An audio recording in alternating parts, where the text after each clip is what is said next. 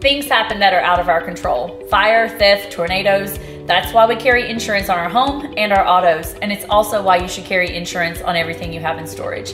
Whatever option you decide to go with, make sure that it adequately covers the value of everything you have in your unit. And if you have questions, our management team is happy to help.